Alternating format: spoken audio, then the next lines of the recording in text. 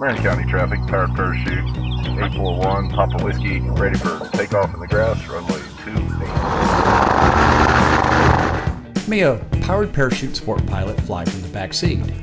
Flying a powered parachute with a passenger in the front seat and the pilot in the back seat is like an airplane pilot flying from the right seat and with the passenger in the left seat. It just isn't traditionally done. But is either one of those things legal? Well, yes, they are as long as there are dual controls that allow the pilot to fly from either the right seat in an airplane or the back seat in a powered parachute.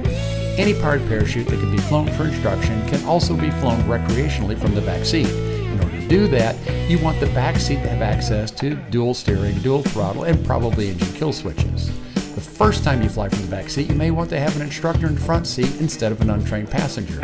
You know, just to give you a chance to safely transition. But there is no regulatory requirement for that. Learn more at easyflight.com.